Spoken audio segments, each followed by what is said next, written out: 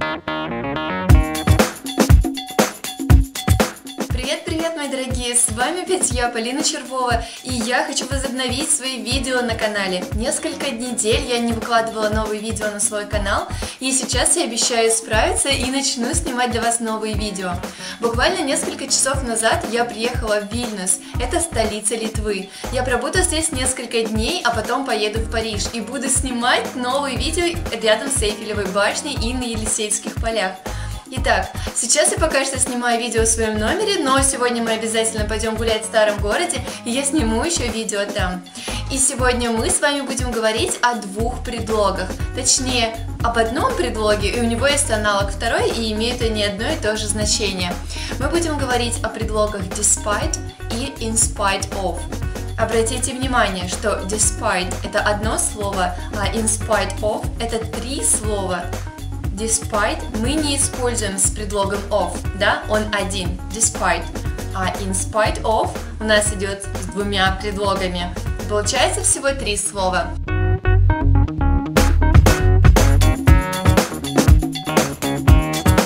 Окей, хорошо, что же это за предлоги?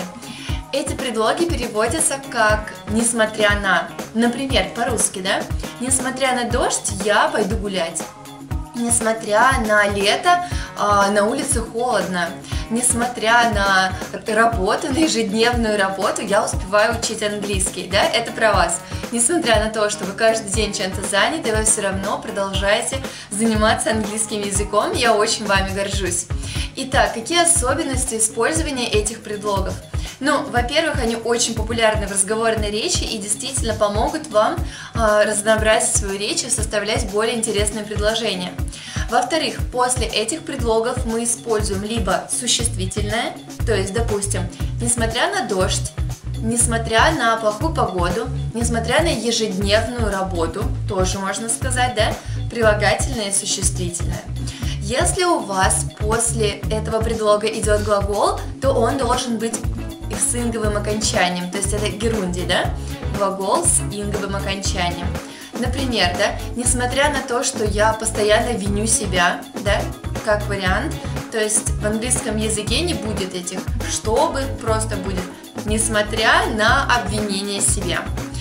Нельзя поставить после этих предлогов предложение. Например, несмотря на то, что я работаю каждый день. Я работаю каждый день нельзя сказать героя и действия, да? То есть мини-предложение нельзя поставить. Но если вам обязательно нужно поставить там предложение, и вы не можете без него, то тогда вы добавляете фразу despite the fact that. То есть the fact that, и потом добавляете целое предложение. Ну ладно, давайте разберем уже примеры. Первый пример – We are walking despite the rain. Мы гуляем, несмотря на дождь, да? We are walking despite the rain. В данном случае после слова despite у нас стоит rain, the rain, существительное, да? То есть после предлога стоит существительное. Следующий. They are living there despite the war. Они живут там, несмотря на войну. Опять, они живут там, потом despite, несмотря на, и существительное the war. They are living there despite the war. Следующий пример будет с фразочкой the fact that. Despite uh, the fact that I work every day, I learn English. Несмотря на то, что я работаю каждый день, да, несмотря на факт того, что я работаю каждый день, я учу английский.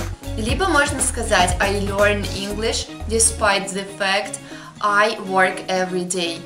Да? Ничего сложного. А теперь давайте пример э, с герундием, да, с глаголом с инговым окончанием. I think it is easy to have a child despite blaming myself every time she falls off a sofa. То есть я считаю, что это легко иметь ребенка, что несложно иметь ребенка, несмотря на то, что я каждый раз виню себя, когда она падает с дивана. Обратите внимание, как много слов в русском языке и как мало на самом деле слов нужно в английском. Давайте еще раз. I think it is easy to have a child despite blaming myself every time she falls off a sofa. То есть Я считаю, я думаю, что это легко иметь ребенка, несмотря на то, что я каждый раз виню себя, когда она падает с дивана, да? Ну что, ребят, ничего сложного, правда? Давайте все зарезюмируем. Предлоги despite и in spite of переводятся как несмотря на. Despite одно слово, in spite of три слова. После этих предлогов мы можем использовать либо существительное, либо глагол с инговым окончанием, либо если вы хотите использовать предложение, вы добавляете фразу the fact that, то есть despite the fact that I work every day, допустим, да? Ничего сложного, правда? Попробуйте составить свои предложения с этими предлогами и начните использовать их в разговорной речи. Я думаю, что вы заметили, что я в основном в своих примерах использовала только despite. Вы можете использовать любой, они равнозначны по своему значению.